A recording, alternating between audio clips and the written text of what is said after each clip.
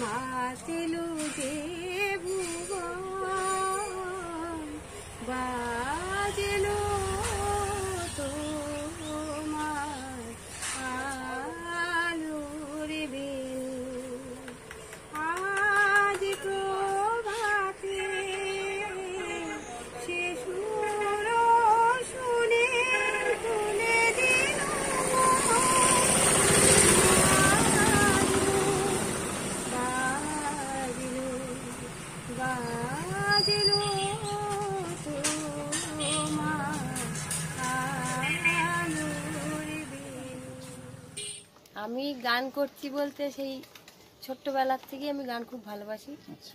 আর তখন থেকেই এই রেডিওতে শুনে মাইকে শুনে বিভিন্নভাবে এখন তো আবার মোবাইল হয়েছে। এখন এতেই শুনি এই শুনতে শুনতে গান করি। ছোট থেকে নিজে নিজে গান করেন? হ্যাঁ। কারোর কাছ থেকে শিখেছেন গান? না না কোনোদিন কারও কাছে শেখার সুযোগ হয়নি। আচ্ছা। কোনোদিন কোনো মাস্টারের সঙ্গে যোগাযোগ করেছিলেন ইচ্ছা প্রকাশ করেছেন যে গান শিখব এরকম? হ্যাঁ আমার মনে হলে কি হবে? এবার সবাই তো আমার মতন ভাববে না সেই কারণে আর হয়ে ওঠেনি।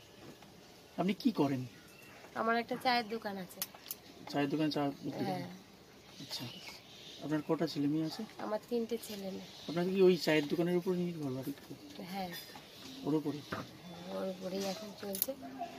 তাও তো এই লকডাউনে পরের থেকে তো দোকান বন্ধই থাকে এখন আর খুবই সমস্যার মধ্যে আছে। হুম। আমরা তো এর আগেও কটা ভিডিও ভাইরাল হয়েছিল। হ্যাঁ হ্যাঁ কেউ কি যোগাযোগ করেছিল আপনার সাথে? হ্যাঁ চব্বিশ ঘণ্টার থেকে এসেছিল তারপরে না অন্য কোনো যারা গানের জগতে রয়েছেন না না ওই রকম কেউ হ্যাঁ স্টার জলসায় অডিশনের জন্য ডেকেছিল। তারপরে আবার ডাকছে। গিয়েছিলেন? হ্যাঁ গিয়েছিলাম। গিয়েছিলাম কিন্তু সেখানে বয়সের জন্য হয়েছিল না। আচ্ছা। ওদের বয়স ছিল কুড়ি থেকে একুশের মধ্যে। আর আমাদের বয়সটা বেশি যেহেতু সেহেতু আমরা বাদ পড়ে গেছি। কি চাইছেন আপনি? আমি গানটাকে ভালোবাসি তো। আমার নিজের জীবন থেকেও আমার কাছে গানের ইয়েটা বেশি। সেই কারণে আমি চাই যে সবসময় আমি যেন গান গেয়ে যেতে পারি। আচ্ছা। এই সুযোগটা করে দিতে চাইছেন?